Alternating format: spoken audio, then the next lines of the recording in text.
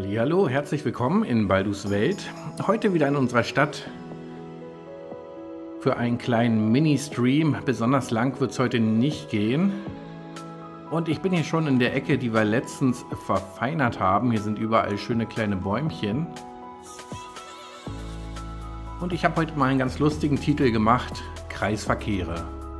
Ja, wir haben in unserer Stadt so gut wie keine Kreisverkehre im Grunde genommen. Viele Leute äh, reden ja immer davon, im neuen City Skyline 2, da wird es halt äh, ganz leicht sein, da kannst du hier raufklicken und da hast du hier einen Kreisverkehr. Brauchen wir gar nicht. Ne? Also wir haben in unserer Stadt im Grunde genommen so gut wie keine Kreisverkehre. Wir haben 134.000 Einwohner, unser ähm, Verkehrsfluss liegt bei 87 Prozent. Ich habe also ein kleines bisschen verbessert. Ich zeige euch das mal gleich. Und zwar habe ich mich gestern mal da bin ich leider doch nicht zum Stream gekommen. Also wir haben hier ein ganz lustiges Kreisverkehrkonstrukt. Hier und da bei den Autobahnausfahrten, aber sonst eigentlich so gut wie gar nicht. Ich habe mich mal um das Industriegebiet gekümmert. Das wäre auch im Stream ziemlich anstrengend gewesen. Ich zeige euch das mal kurz. Und zwar habe ich diese ganzen Straßen hier neu angelegt. Wir hatten ja diese Straße hier, die war aber weiter weg. Da hatten wir auch damals ein paar Häuser dran und die habe ich so umgebaut, damit hier ganz viel Platz ist.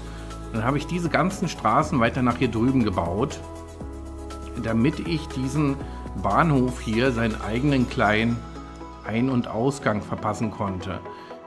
Also ich habe das jetzt so gebaut, dass ähm, hier sind ja immer so krass viele LKWs, jetzt gerade geht es hier, dass die am besten einer nach dem anderen, hier sieht man es besser, hier habe ich es auch verändert, immer reinfahren, dass hier niemals irgendwie keine LKWs sind, ne? weil das sind so viele, hier hinten stehen sie schon an, von hier kommen sie auch. Das geht aber jetzt alles, wie gesagt, der, wie wir gerade gesehen haben, der Verkehrsfluss ist wieder besser geworden. So, hier habe ich also auch ein bisschen mehr Platz gelassen. Per, ganz perfekt liegt der Bahnhof nicht, aber ich muss ganz ehrlich sagen, jetzt läuft es super. Ich habe ja auch herausgefunden, es gibt Straßen, wo man hier so einen Mittelstreifen hat. Dadurch kann man verhindern, dass die Autos hier gleich rausfahren. Ich hatte also beim letzten Mal gesagt, die biegen nicht immer auf die andere Spur hier drüben. Das machen sie schon, wenn man hier keinen Mittelstreifen hat. Und in dem Fall ist es halt total wichtig, weil sonst ähm, waren einige LKWs, die hier gleich abgebogen sind und dadurch haben die hier oft, sind die angehalten. Die müssen aber wirklich eine nach dem anderen da reinfahren. Ansonsten hat man ein Problem. Also ich habe mich um das alles gekümmert und was ich auch noch als kleinen Tipp mitgeben könnte, ist, ähm, dass es anscheinend gut ist, wenn man diese, ähm, das sind ja die, die ähm, Industriezüge hier, wenn die überall verbunden sind. Ich habe sie also noch viel mehr verbunden. Und diese Verbindungen müssen auch immer so lang sein, dass ein Zug reinpasst. Also wenn jetzt hier zum Beispiel einer ankommt, dann muss der hier stehen bleiben. Und wenn der dann zu lang ist und hier hinten rausguckt, dann steht vielleicht hier ein Zug, der kann dann hier nicht lang. Ganz perfekt ist es noch nicht. Ich glaube, dieses Gleis ist nicht lang genug. Jetzt sieht man schon, jetzt wartet der hier. Und ich habe die noch mehr verbunden. Jetzt sieht man schon, hier will auch ein Zug hier rüber. Und dadurch sind, glaube ich, noch ein bisschen weniger LKWs unterwegs. Weil wenn man das nicht verbindet, ne, jetzt ist hier der, der Flughafen mit dem Bahnhof da drüben verbunden, was vorher nicht war, dann fahren wahrscheinlich die LKWs von dem auch manchmal hier zum Flughafen. Und so können sie ja hier mit dem Zug hinfahren. Jetzt sieht man schon, da entstehen manchmal so ein bisschen äh, Zugstaus. Manchmal nimmt es auch total überhand. Müssen wir mal gucken, wie das noch wird. So, habe ich euch das mal gezeigt. Also das ist eigentlich das Einzige, was ich gestern gemacht habe. Und das hat ewig gedauert. Hat aber auch Spaß gemacht. Ich habe die Straßen ein bisschen besser verbunden. Die gefällt mir noch nicht so ganz. Aber der Rest ist ganz witzig. Auch die hier hinten ist noch nicht so schön verlegt. Da müsste ich schon noch mal ran. Und was ich noch gemacht habe, ich habe sehr viel Industrie noch dazu gepflanzt. Also hier und da, wo noch eine Lücke frei war, hier hinten hatten wir noch ein bisschen was frei, weil wir hatten ja jetzt das Problem, dass die Gewerbegebäude immer rumgemeckert haben und im Grunde genommen auch eingegangen sind. Wir können mal ganz kurz gucken, ob jetzt hier eins dabei ist. Aber nachdem ich hier ganz viel Industrie gebaut habe, ist es immer weniger geworden und jetzt im Moment geht hier gar kein Haus mehr ein. Das gefällt mir auch sehr gut. Das hatte so ein bisschen genervt. Hier ist lustig unsere kleine Ecke mit den ganzen kleinen Mini-Häusern. Können wir uns auch mal angucken. Mehr hat da nicht hingepasst. Das sieht so ein bisschen verrückt aus.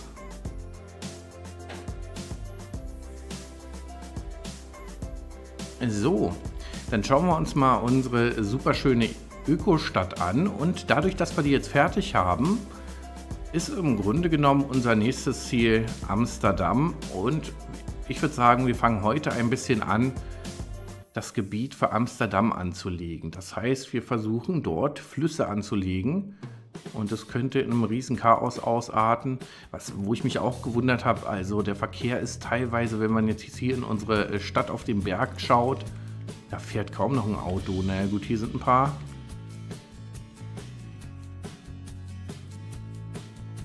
Aber das ist ja sowas von wenig. Ne? Damals war hier immer alles voll. Das sieht richtig schön friedlich aus. So, damit habe ich euch alles gezeigt. Also wie gesagt, ein paar Industriegebäude habe ich dazu gebaut. Die Industrie ist ein bisschen größer geworden. Ich habe Straßen umgebaut. Dann hatte ich hier dann ganz kurz mal einen Stau. Dann habe ich das wieder umgebaut. Diese ähm, Straße gefällt mir noch nicht so richtig, aber im Moment geht es auch. Es bilden sich auch immer mal wieder so ein paar kleinere Staus. Die lösen sich dann aber eigentlich auch wieder auf Dauer auf. Und hier drüben habe ich so ein bisschen verändert. Und zwar war hier auch ein Stau, weil hier die ganzen Autos aus der Industrie hier unten kommen. Und da habe ich das jetzt so gemacht. Hier ist eine Einbahnstraße, hier ist eine und hier ist eine. Und es hat sich jetzt wieder ein bisschen aufgelockert. Ich habe dann auch hier eine Abfahrt gebaut. Oh, da habe ich ja auch letztens von erzählt. Hier vorne haben wir noch eine Ampel, die noch an ist können wir aber auch noch anlassen. Da sind so wenig Autos. Ja, und diese Autos sind sonst auch immer alle da vorne lang gefahren. Und dadurch hat sich das auch wieder ein bisschen aufgelöst. Das sieht noch nicht gut aus hier. Ich habe hier nur mal so ganz schnell zum Ende hin noch angeschüttet gestern. Okay. Da ist unsere Ökostadt. Wunderbar. Und ich würde auch sagen, die Straßen hier vorne lassen wir so. Hier müssen jetzt überall ein paar Bäumchen hin. Und vielleicht fangen wir auch damit an, aber ich habe eigentlich eine andere Sache, mit der ich mit euch anfangen möchte. Und zwar habe ich ja gesagt, dieses komische Hochhaus da hinten, das gefällt mir da nicht. Vielleicht können wir das stattdessen hier ins Industriegebiet reinknallen. Hier sind ja überall Parks. Hier ist zum Beispiel einer, hier sind drei solche Parks, hier habe ich immer dieselben hingebaut. Wir können ja mal überlegen, vielleicht hier versuchen wir mal diesen Park zu ersetzen mit diesem, ich sag mal, hässlichen Hochhaus. Na los.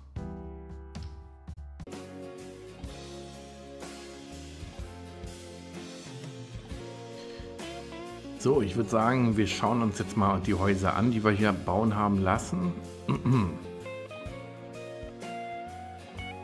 Wir gucken uns das Ganze erstmal vom Weiten an. haben wir hier so ein paar von diesen IT-Clusterhäusern mit dran drinne. Und damit würde ich sagen, ist unser Babylon perfekt. Sie gucken so ein bisschen oben rüber. Naja, man sieht es kaum. Man sieht es kaum, aber vom Nahen ist es schon ganz cool, dass die alle so ein bisschen unterschiedlich aussehen. Und dieser Monsterturm, da bin ich auch sehr froh, dass wir den hier reingebaut haben. Woanders hätte der gar nicht hingepasst.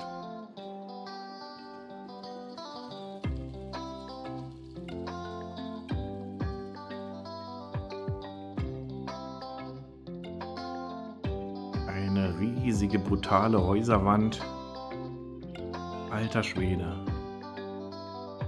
Also um ehrlich zu sein, habe ich davon jetzt auch langsam genug. Hier drüben haben wir nochmal hier ein großes Haus bauen lassen. Damit bin ich eigentlich jetzt auch ganz zufrieden. Jetzt haben sie hier nochmal das gebaut. Aber nicht das, was ich eigentlich wollte. Aber das ist doch ganz schön.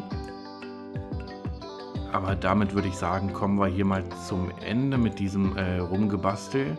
Ich lasse die jetzt hier einfach bauen, was sie wollen. Ah, und hier geht gar nichts hin. Na gut, lassen wir mal so. Können wir demnächst mal schauen, was daraus geworden ist. Okay. Was für ein Riesenakt. So, wir schauen uns noch mal kurz die Ecken an, die wir heute bebaut haben.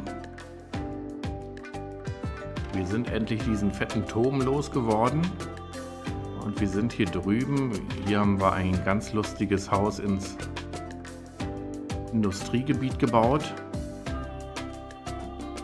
Passt da eigentlich ganz gut rein. Ich finde es nicht so schön. Und hier hinten haben wir einen Monsterklopper nach hier oben gebaut.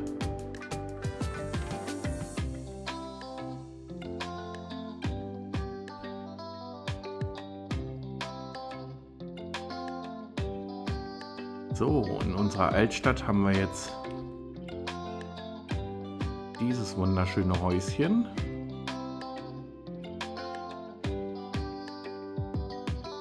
Und das ist doch ganz schön. Damit würde ich sagen, haben wir jetzt alles verziert und es hat echt länger gedauert, als ich dachte.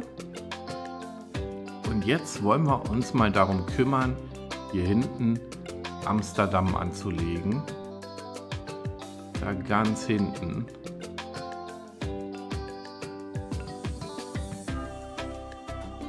Hier kommt jetzt Amsterdam hin.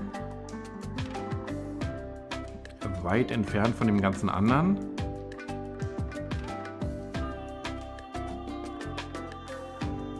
Ich würde sagen, wir warten mal noch bis zum Sonnenaufgang. Ich werde mal noch ein Zigarettchen rauchen und dann legen wir los.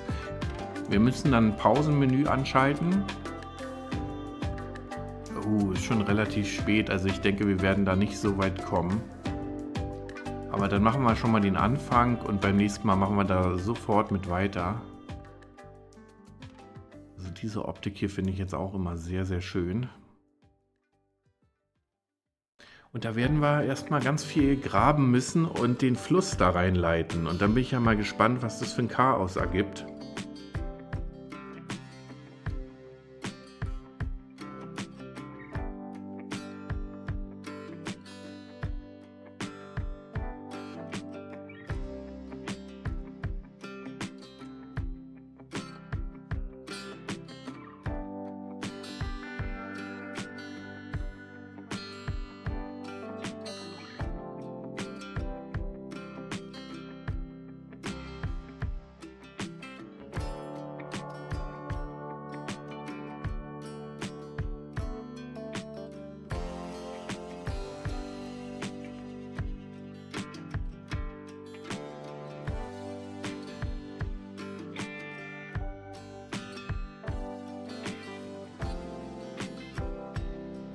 So, damit ist es hell geworden. Wir schauen jetzt mal nach, wie viele Pumpstationen wir hier haben. 2, 4, 6, 8, 10, 12, 13 Stück. Wir müssen jetzt also 13 Pumpstationen nach hier vorne bauen.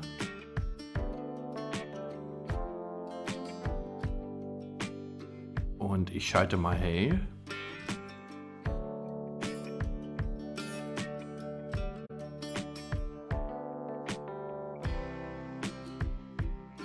Jetzt nochmal prüfen wollte, also wenn man das hier rüber baut, Bäume weg. Wenn man es wieder abreißt, Bäume wieder da. Genau. Deswegen würde ich jetzt sagen, wir schützen jetzt mal hier unsere,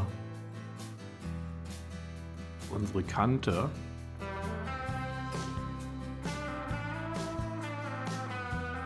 Das kann ja wohl nicht sein. Und no, auf dem Wasser nicht möglich. Also im Nachhinein kannst du das gar nicht mehr machen. Oh no, ey. Wir müssen äh, tatsächlich nochmal die Pumpen abstellen. So, damit habe ich jetzt auch nicht gerechnet. Da ist ja das Spiel knallhart. Da bin ich ja auch mal gespannt, ob das ähm, bei City Skyline 2 auch so knallhart ist mit dem Wasser. Alter Schwede, ey. Und ist das nervig.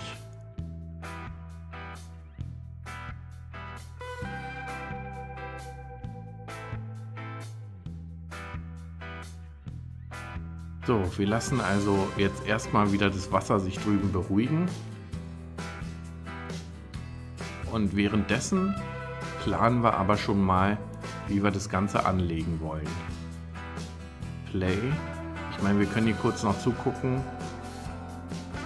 Oh mein Gott. Was auch böse ist, dass du halt im Nachhinein das nicht mehr ähm, hinbauen kannst.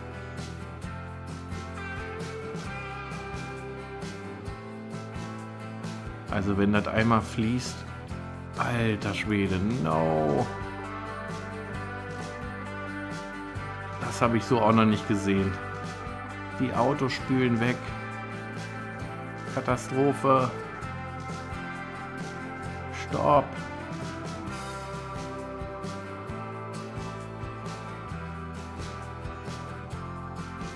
Riesenkatastrophe. Wir müssen Vin Diesel retten. Der ist gerade dabei, hier Arc 2 noch zu zocken. Schluss mit dem Blödsinn. Feuerwehr.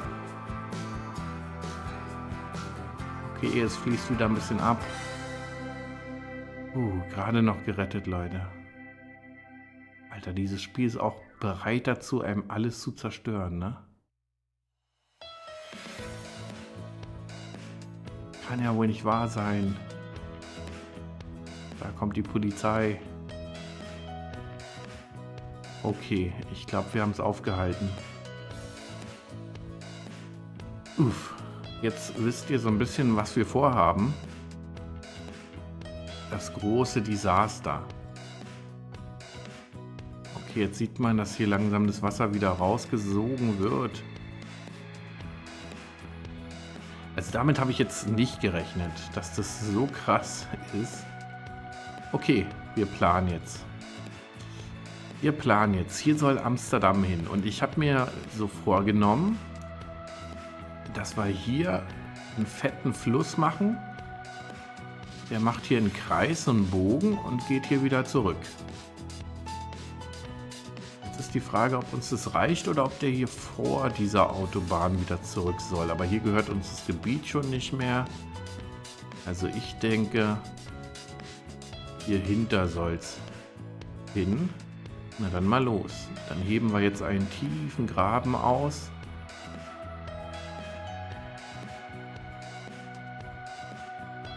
Und wir sehen schon, da ist eine Autobahn. Da ist eine nervige Autobahn im Weg.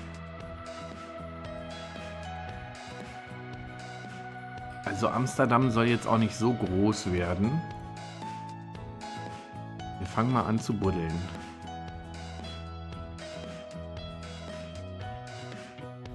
Ich stelle mal ein bisschen größer. Uh, ja, das sieht schon ganz nett aus. Es ist so ein bisschen die Frage, wie tief es werden soll. Wir können uns an dem Fluss ein bisschen orientieren. Wir gucken mal, wie tief der hier in der Mitte ist nehmen mal so viel Erde weg, dann wissen wir genau, wie tief der ist. Der ist nicht so tief. Na dann machen wir das hier auch so, würde ich sagen. Der ist verdammt flach.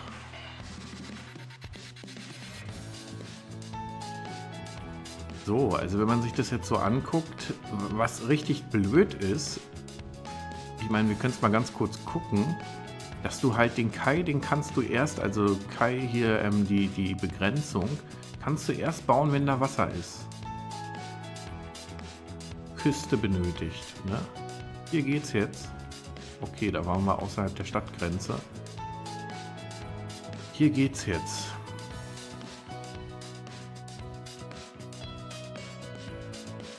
Das bedeutet, wir können es erst verzieren, wenn hier alles voll ist mit Wasser.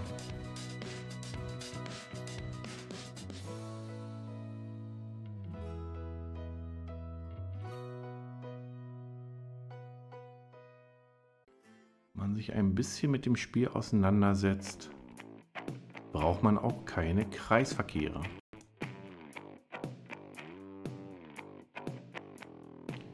Da kann man dann hier so ein riesiges Gewerbegebiet haben und die Leute wissen, wie man Auto fährt.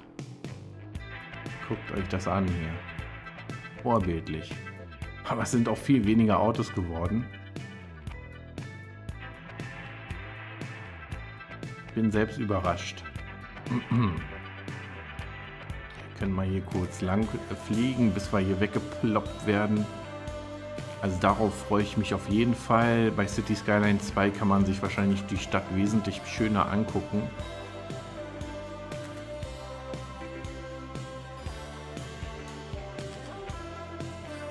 Uh. Wir machen den kompletten Rundflug hier heute. Ja, so sieht das Ganze aus. Da hinten, oh, guckt mal, wer darüber schmummelt, unser riesiger Babylon-Turm zu Babel. Da ist er. Unser wunderschönes, ähm, überhaupt nicht schönes, hier etwas. Da haben wir es untergebracht, sehr gut. Uh, Flugzeug im Sturzflug.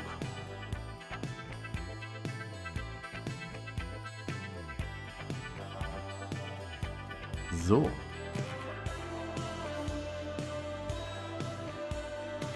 Verabschieden wir uns mal von Babylon. Babylon hat heute ein paar neue Häuser bekommen, die so ein bisschen über die anderen rüberragen. Hier haben wir jetzt also im Grunde genommen nahezu alle Häuser drinne.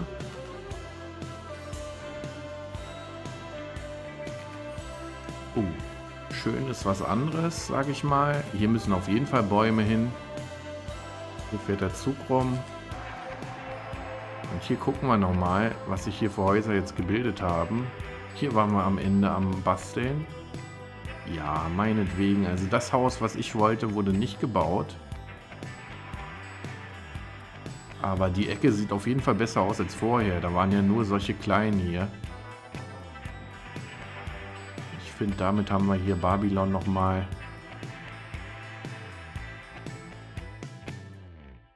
zusätzlich zugebaut.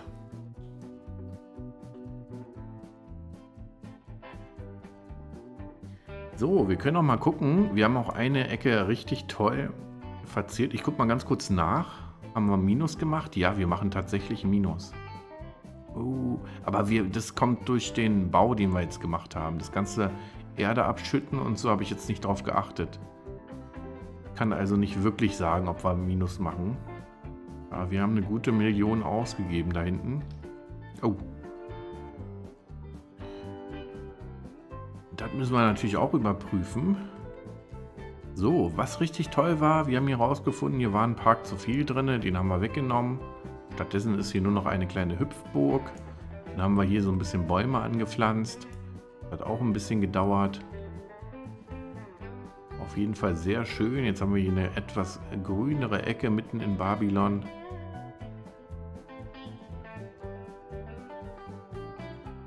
Auch hier auf der Straße haben wir mal ein paar vernünftige Bäume hingesetzt.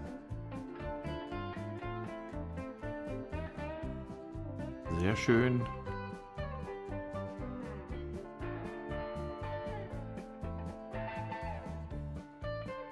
Hier hinten haben wir nicht viel gemacht heute, haben wir gar nichts gemacht. Hätte ich auch gerne. Vielleicht fangen wir beim nächsten Mal an, dass wir hier ein paar Bäume pflanzen. Vielleicht stürzen wir uns aber auch sofort auf die Ecke da hinten lässt mir jetzt gar keine Ruhe und es macht auch Spaß, wenn man dann da irgendwann mal anfangen könnte zu bauen. So, diese Häuser sind nicht in Babylon. Wenn man es jetzt komplett übertreiben würde, könnte man die auch noch bauen lassen da drin. Schwierig wäre es nicht. Aber überflüssig. Also gut, die haben hier auch noch ein schönes großes Hochhaus. Sehen wir ja hier überall. Man sieht aber auch jetzt, es ist sehr begrenzt hier. Guckt mal, wie oft dasselbe Haus gebaut wurde. Also Ökostadt hat nicht so eine krasse Vielfalt an äh, Hochhäusern. Da reicht es absolut, so eine Fläche zu haben. Es würde sogar reichen, hier ein so ein, so ein Batzen zu haben und nicht zwei. So, hier haben sie ganz kleine Mini-Häuser gebaut. Da müssen wir dann später auch noch weiterbauen. Den Rest haben wir aber schon sehr schön angelegt hier. Wir werden dann ein paar von den Hochhäusern abreißen, die uns nicht so gefallen. Hatten wir ja schon mal gemacht. Das hier vorne hat sich aber wieder gebaut. Das werden wir dann später auch noch perfektionieren, dass hier nicht so viele von den gleichen Hochhäusern sind. So, was haben wir noch gemacht? Wir haben das Einkaufszentrum da hinten reingebaut. Können wir uns nochmal angucken. Ja, das sieht auf jeden Fall vom Weiten schon besser aus als dieser komische Turm hier. Und in der Nacht ist doch ganz schön. Können wir hier ranzoomen. Ich denke mal, das können wir hier lassen. Ich muss aber, muss aber sagen, das ist eigentlich ein ganz schönes Gebäude. Welches man wirklich auch von allen Seiten mit Straßen umbauen könnte, ne? So richtig ähm, in den Vordergrund bringen. Überlegen wir uns noch. Vielleicht finden wir noch ein anderes Haus, was nicht so schön ist und äh, werden das dann hier hin tun. Und schnappen uns hier nochmal dieses schöne Häuschen. Ich meine, es kann, könnte auch mit nach Amsterdam. Da werden wir uns noch überlegen müssen, wie das alles weitergehen kann. Oh, guckt mal hier. Das sieht ja mal richtig schön aus. Gut, was haben wir noch gemacht? Schauen wir uns nochmal da oben die Ecke an.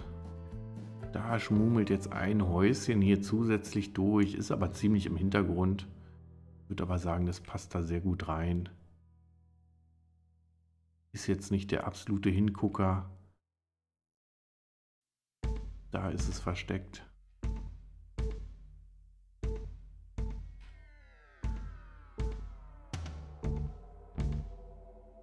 Wunderbar, aber dadurch sind wir jetzt fast alle ganz normalen Parks losgeworden. Ich wollte euch nochmal das Haus zeigen, worauf ich gewartet habe. Ich habe auf dieses Haus hier gewartet vorhin. Das wollten sie aber da drüben nicht bauen. Und das Haus finde ich auch richtig cool. Das ist aber wirklich auf einer einzigen Fläche. Müssen wir uns merken. Wir können mal kurz gucken, ob es noch ein Haus gab, was nicht gebaut wurde. Ich meine, so viel Fläche habe ich jetzt hier auch nicht damit bepflanzt, mit diesem ähm,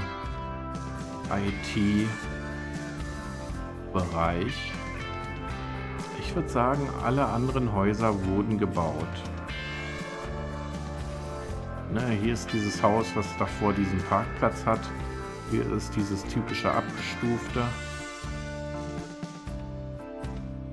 Die anderen, das sind Wohngebäude hier drüben.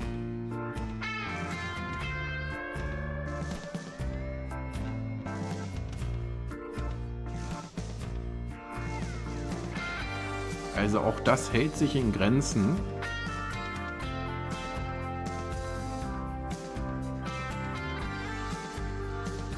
gibt hier noch so ein kleines, kleines, schmales, was vielleicht an so einer Ecke neben so einem anderen Haus auch richtig cool aussehen könnte hier.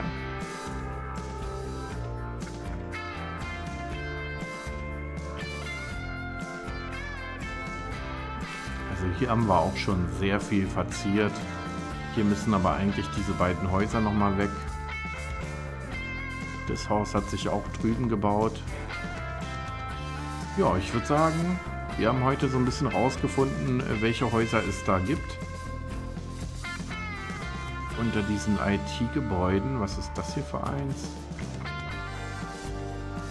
Ja, das hatten sie drüben, glaube ich, auch kurz mal gebaut. Hier sieht es eigentlich ganz nett aus.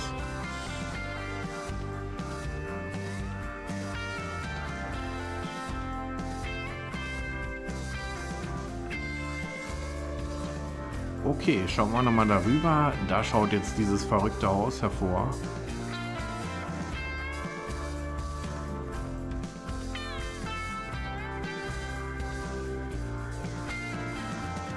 Und das gefällt mir richtig gut. So, hier hinten haben wir nicht so viel gemacht. Man sieht schon vom Weiten,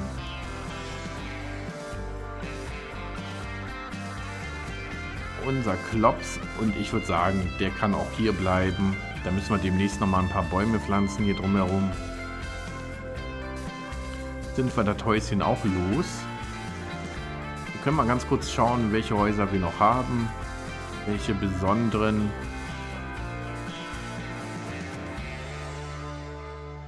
Und mal schauen. Also vielleicht würde das hier auch nach Amsterdam passen.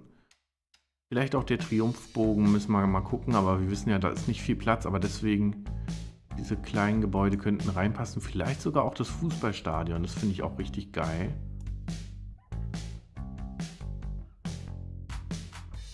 Das könnte auch nach Amsterdam passen. So, also viele Häuserchen sind nicht mehr übrig, aber es gibt noch mehr, die ich auch noch freischalten will. Alter Schwede. Hier ist die fette Post, die immer so ein Trouble macht. Da sind sie am Rumgurken und äh, verstopfen unsere Straßen. Die Biester. Hier ist eine unserer ersten Ecken.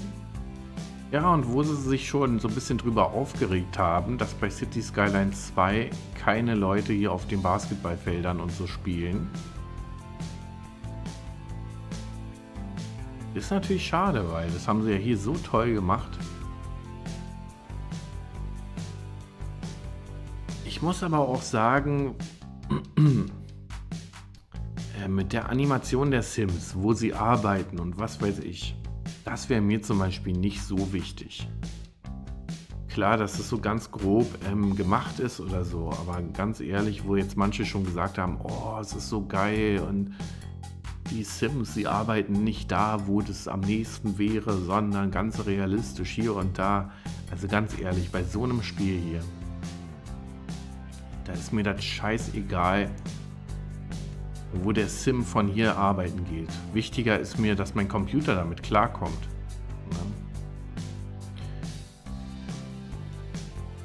Alter Schwede. Ich hoffe, das Spiel wird bei mir funktionieren. Es sind noch ein paar Tage hin. Zwei, drei Tage. Und dann werde ich auch bei City Skylines 2 reinschauen können. Wollen wir noch mal gucken.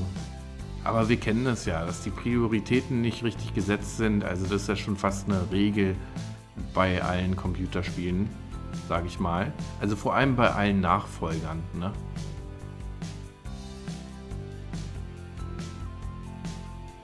So, wir wollen mal das Beste hoffen.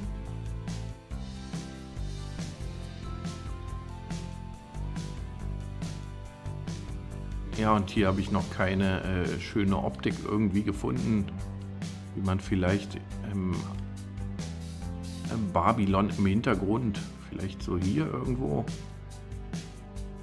hinter der Ökostadt. Alter Schwede. So, aber ich bin mega happy. Da hinten wartet Amsterdam.